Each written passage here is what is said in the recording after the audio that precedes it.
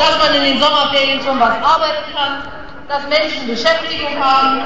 Und da haben wir gesagt, das können wir in Berlin gar nicht so gut entscheiden. Das müssen die Länder und die Kommunen gemeinsam machen und dann muss das auf die Reihe kommen.